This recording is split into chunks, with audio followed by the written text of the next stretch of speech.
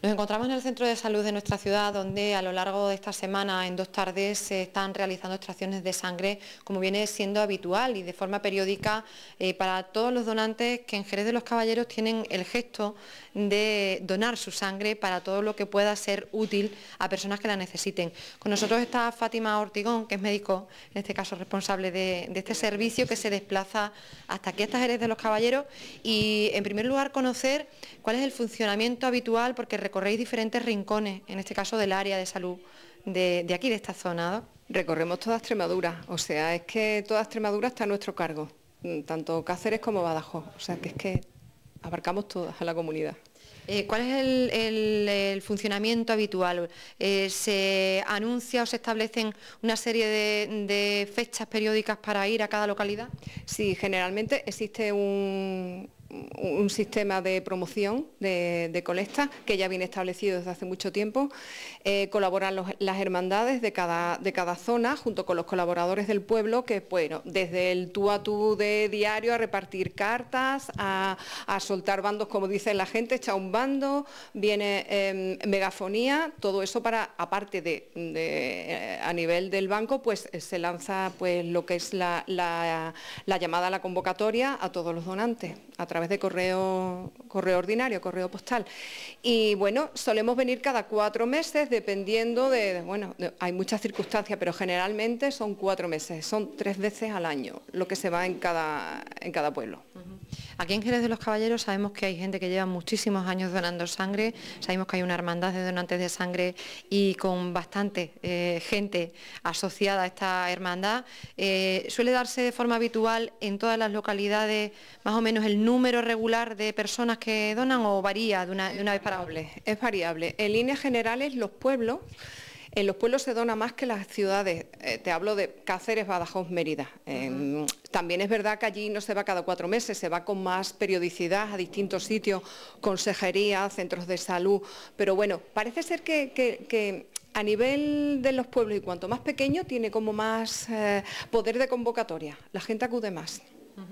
Em, ¿Qué requisito eh, tiene que reunir una persona para hacerse donante de sangre? Bueno, pues toda persona comprendida entre 18 y 65 años de edad, que se encuentre bien de salud, que no tenga problemas importantes de salud y, bueno, simplemente con tener la, digamos, la generosidad de querer venir y rellenar un papel que preguntan cosas muy básicas, después pasan aquí, le hacemos eh, lo que son dos determinaciones, la hemoglobina capilar en el dedo y la tensión arterial y bueno, y si está todo correcto, pues pasa a la sala de extracciones. Es muy fácil. Lo que más se necesita es ganas de donar. Eh, ¿Qué le podemos decir a la gente que se esté planteando eh, bueno, el ser donante de sangre? ¿Cuál es la razón de ser? ¿Cómo ese gesto puede servir para qué cosas?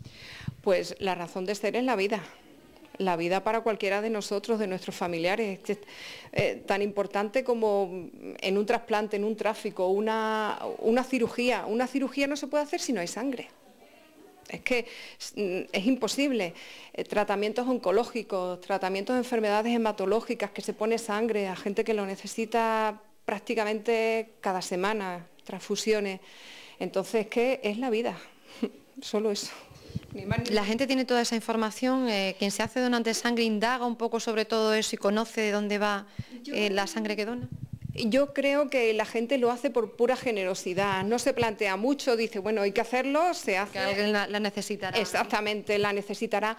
Hay gente que también viene porque ha sentido en su, eh, cercana, cercanos a ellos o en propia, propia persona, pues la necesidad de, han visto que se ha necesitado sangre, muchos que dicen, es que yo tengo que venir porque recuerdo que cuando, por ejemplo, mi padre estaba enfermo, es que eran bolsas y bolsas las que hicieran falta y nunca había, mm, eh, nunca había una negativa de decir, pues no le ponemos más porque... Entonces la gente es muy, es muy consciente de eso, sobre todo si lo ha sufrido en propias carnes. Hay un grupo, escuchamos siempre que hay un grupo eh, sanguíneo que es el, eh, quizás el, más, el que a veces se necesita y el que menos gente tiene. Efectivamente, el cero negativo es el que más se necesita por la simple razón de que es el que menos hay y además el que puede, mm, puede exponer a cualquier persona. Sin embargo, los cero negativos solamente pueden recibir de sus otros ceros negativos. Entonces, nosotros es que vamos con estamos siempre con concienciar a la gente de que el cero negativo, mm, dicen, bueno, para todo el mundo y para, y para ellos también, que ellos no pueden ponerse ninguna, no se le puede poner ninguna otra sangre más que la suya. Eh, cuando se recoge todo lo que se recoge aquí, por ejemplo, en la tarde de ayer eh, hubo bastante afluencia. Hay... 151 bolsas, eso es, eso es un récord, una cosa. Nos decía que el proceso cuando sale de aquí la sangre es muy complicado de explicar, pero mm, brevemente se, recoge la sangre aquí y cuál es el proceso. La, sangre se transporta en, medios que están, em, se transporta sobre em, frío, sobre frío, va en un furgón que va cerrado y frigorizado, sí, bueno, compacto y se lleva al banco de sangre, allí está funcionando continuamente, ya están esperando los técnicos la sangre y empiezan a procesarlo desde el primer instante en que llega la sangre. Y bueno, ya es mucho más complejo, de cada bolsa se sacan tres hemocomponentes, eh, eh, se hace el grupo sanguíneo, se hace la analítica pertinente, en fin que todo esté preparado para cada fin, ¿no? Y luego pues ya una vez que están procesadas y está todo, digamos, las analíticas y las serologías hechas, pues ya se, se, tipa la sangre y se almacena a distintas temperaturas dependiendo del hemocomponente que sea, que tienen distintas temperaturas y tienen distintos periodos de caducidad todo eso es ya más complicado. Eh, bueno, sabemos cómo funciona el Banco Regional de Sangre también, eh, porque conocemos eh, las donaciones que se vienen haciendo aquí, el trabajo de la hermandad de donantes, pero ¿sigue siendo necesario todavía aumentar ese número de donantes o viene siendo suficiente para paliar esas necesidades? hombre, Sangre ahora, digamos que ha subido bastante. Las bolsas que se sacan ahora a nivel de la comunidad son más de 40.000 bolsas al año. O sea que es una pasada. No sé si somos los segundos o los terceros comunidades que más dona en, España, que estábamos casi, casi por la cola. Pero bueno, la sangre nunca es bastante porque cada vez se necesitan eh, más técnicas mismo desde que se han implantado los trasplantes, que desde que se hacen los trasplantes aquí en la comunidad, pues se necesita muchísima sangre, los trasplantes de hígado, trasplantes de riñón, entonces nunca es bastante, nunca es bastante. Bueno, un trabajo que también es mucho la concienciación, nos decía, no sé si un mensaje final para todas aquellas personas que, que bueno, que quieran planteárselo, ese gesto como la importancia de la donación, ¿no? empezando por la sangre y quizás siguiendo después nos comentaba que también seguían muchos otros procesos como donación, en este caso... Donación de cordón umbilical, donación de tejidos, mm, el tema de la médula que va con va aparte, pero bueno, que nosotros siempre hacemos, ya que estamos aquí con gente solidaria, siempre dejamos algunos folletos y tal. También el Banco de Leche Materna, que se, que se ha inaugurado hace relativamente poco tiempo en Extremadura y del que deberíamos sentirnos orgullosos, todo lo que tenemos. Un llamamiento o un mensaje. No, yo qué sé, es que son 10 minutos que, que estemos aquí, puede significar a una persona toda la vida, tener más vida. Es que es tan simple como eso. Vamos a molestar un poquito a, Nati. Mm, preguntarte cuánto tiempo llevas siendo donante de sangre y por qué te hiciste donante. Pues nada, seis o siete años hace y dijeron vamos a dar sangre, y digo pues vamos. Me dijo mi nuera, vamos a dar sangre y digo yo también voy. ¿Está?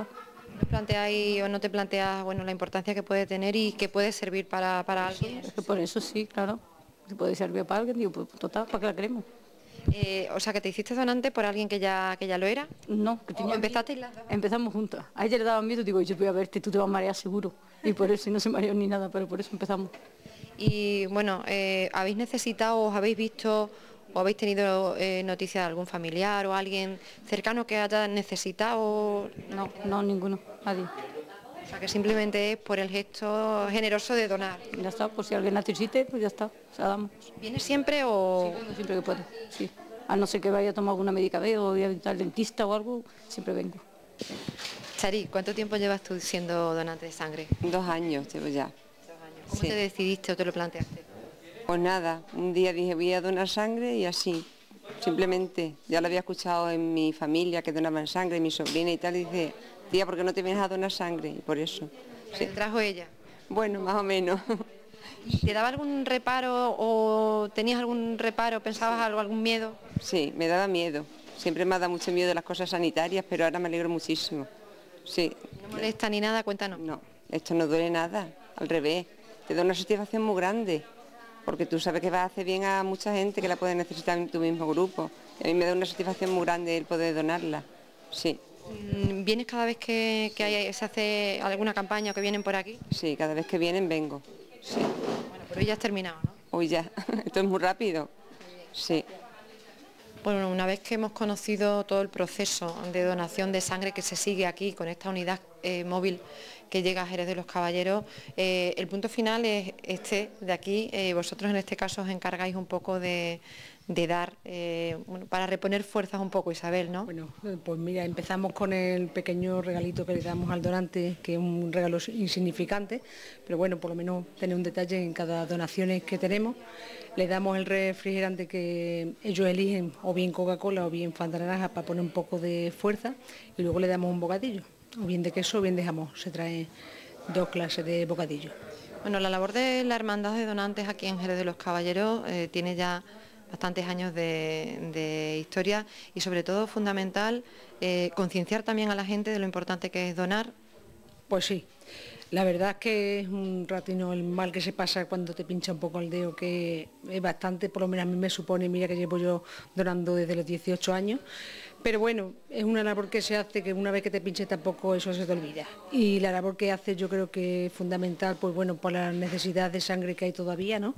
Y que bueno, que sigan acudiendo, que yo creo que es importante la donación aquí en Jerez, y lo mismo que en toda Extremadura.